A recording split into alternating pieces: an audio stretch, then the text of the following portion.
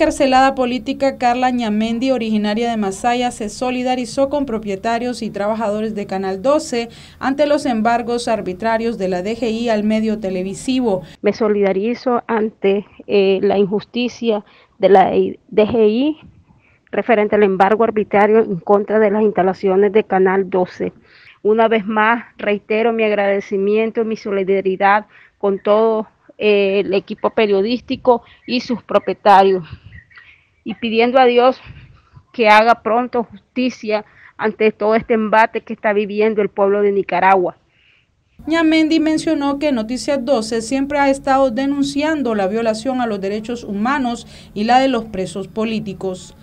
Eh, a mí me consta el apoyo que Canal 12 y su equipo periodístico profesionales han apoyado la lucha de los campesinos la lucha de los presos políticos, de los familiares, y yo viví con ellos ese apoyo el, el 20 de agosto del año 2018 que yo fui secuestrada en mi hogar, ¿verdad?